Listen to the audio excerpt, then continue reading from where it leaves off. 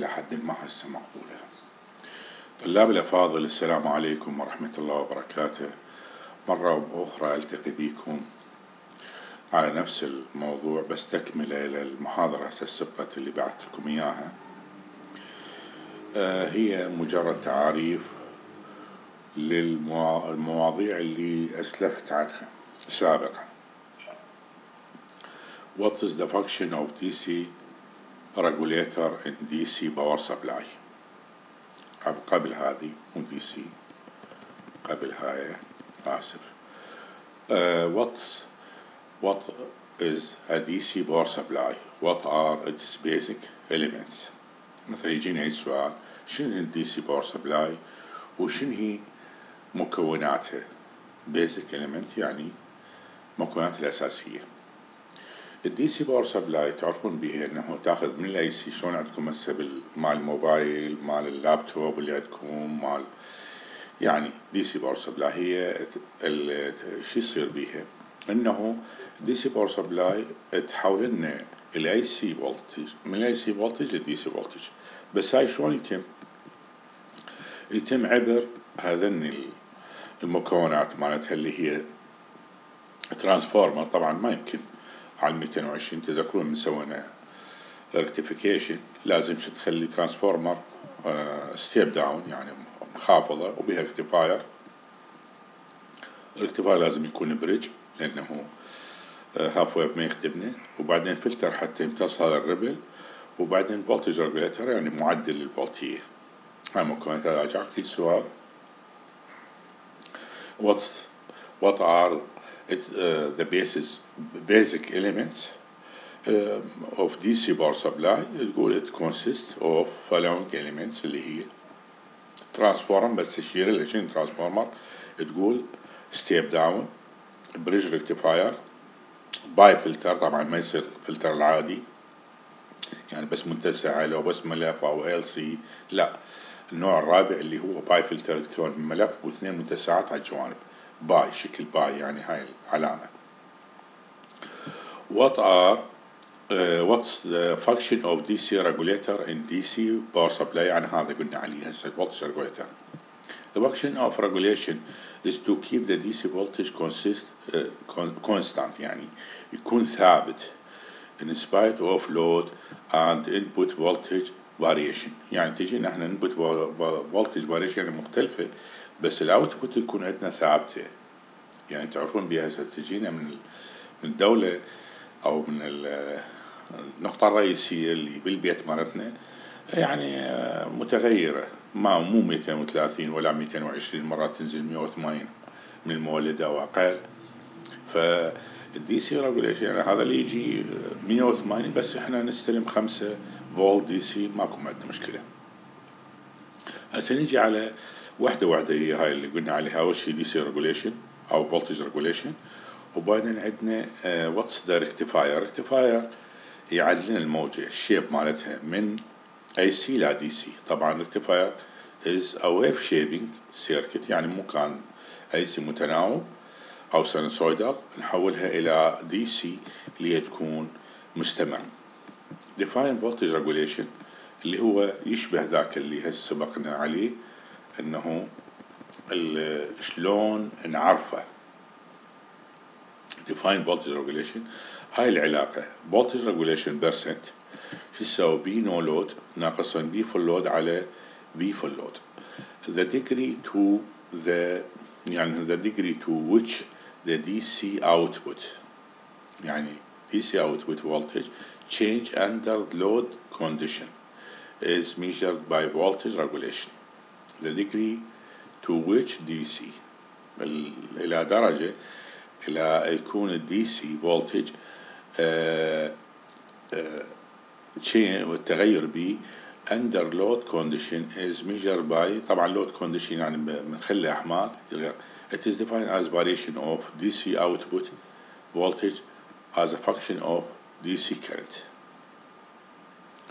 DC طبعا it is define, definition as variation of DC output voltage as a function of the DC current هو مو DC current العفو هنا DC voltage لأن هنا full load زين على حال function of DC current ماكو مشكلة.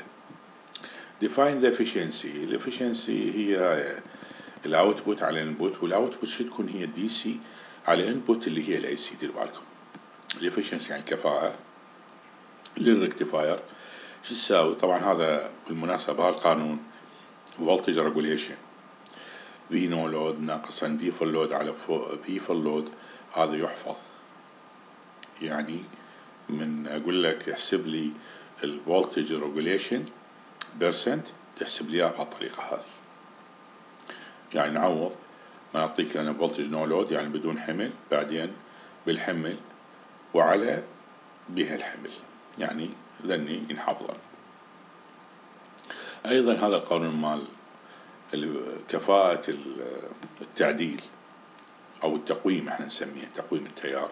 the efficiency هاي العلامة مالتها لازم نحفظها شلون نكتبها نتعود على كتابتها بالمناسبة. فاتنا أذكر لكم هنا ال V هاي اللي فوق وهاي subscript تنكتب دير بالكم. طبعا هنا ما بي وحدات هذا مثل هاي هم الكفاءة ما بي وحدات. uh, efficiency of rectifier is defined by the ratio DC power supply to the load to the total input. طبعا DC على يعني ال power مال DC على ال power ال AC تساوي ال efficiency أو الكفاءة. ال ripple factor هذا مهم. اللي هو جاي من إيش؟ من ال V root mean square على ال V DC. يعني الداخل على الخارج يطلع عندنا ال ripple. إيش قد قيمته هو شنو ال ripple المقصود بها إيش قد من ال AC هذا المقصود به V root mean square على V DC هذا ال ripple factor اللي إحنا تحدثنا عنه إنه شلون نحسبه اعطيتكم به قوانين. ال form factor يعني هيئة شو اسمها؟ الموجة اللي طالعت لنا شلون تصير مال ال DC the form factor هماتين مثل ال ripple factor تقريبا V root mean square على V DC يعني لو تشوفون هنا تلاحظون ال ripple factor V root mean square على V DC وهنا ال form factor هو نفسه تقريبا V root mean square على V DC ال peak inverse voltage هذا وحدة من خواص اللي يعتمد عليها الدايود يعني من نشتري دايود. وحدة من مواصفاتها إحنا نشوف إيش قد ال peak inverse voltage. يعني اللي هي شنو هو؟ The secondary voltage. That appear across the diode when it is reverse bias as طبعا هي أقصى فولتية عكسية نقدر نحملها على الدايود بحيث ما يحترق. يعني يسمونها يعني يعطوك حدود. من تشتري يعطوك حدود يقول لك إنه ال peak voltage لازم بالسالب ما يتعدى مثلا ناقص خمسة فولت. فأنت لازم تشتغل جوا الخمسة فولت. هاي يسمونها maximum volt reverse voltage can be applied to the diode without destroyed يعني بدون أن ينتهي أو يصير به دمار.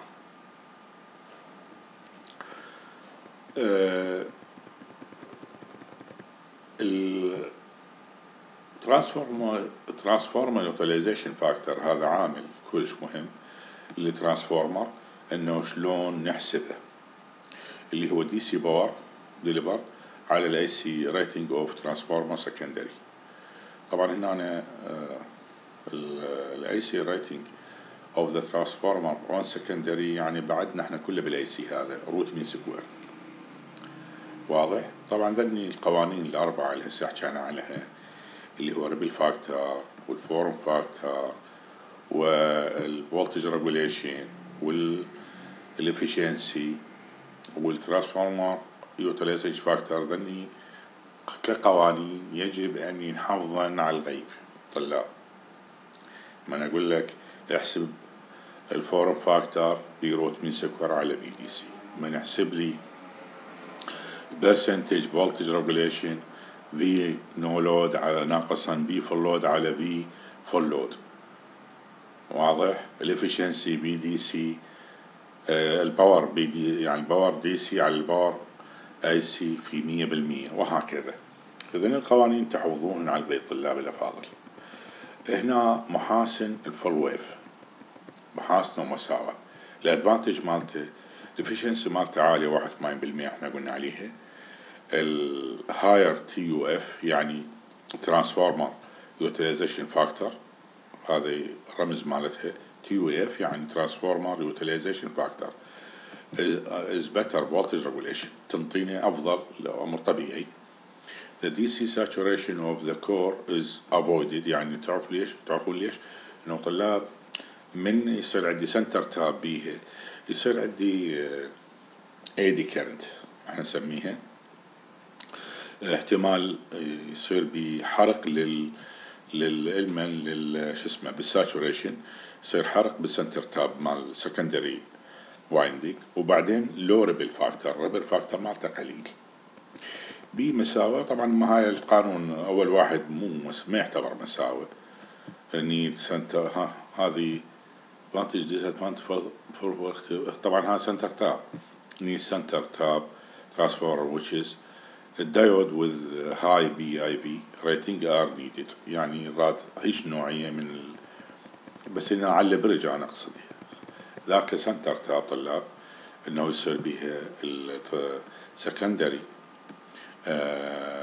winding مال ال transformer احتمال يصير به حرق. زين need center tap transformer which is bulky and cost طبعا تعرفون بي bulky يعني solid و cost and cost يعني يكون مكلف أيضا. وال diode with high PIV طبعا هذا PIV peak inverse voltage يعني يتحمل عكس فولتية عكسية عالية لازم. ال bridge يكون بتقريبا نفس المواصفات بس ما يحتاج center tap وال PIV rating of the diode is only V VM only V maximum في حين هذا 2 VM maximum بالمناسبة. تذكرونها no DC saturation of the core يعني ما يحدث عندنا إذا قارنا ويا center tap هنا ال disadvantage مالته require four diode هذا ما تعتبر disadvantage برايي يعني والآن أنا ختمت لكم الفصل هذا تقريبا. مال الدايود جزء من تطبيقات اللي هي راح نطبع التطبيقات الأخرى اللي هي ال clamper و clipper والامثله اللي اعطيتكم إياها طلاب تحلونها يعني تنقلونها على ورق وتحلونها بايديكم وأتمنى لكم كل التوفيق. والسلام عليكم ورحمة الله وبركاته.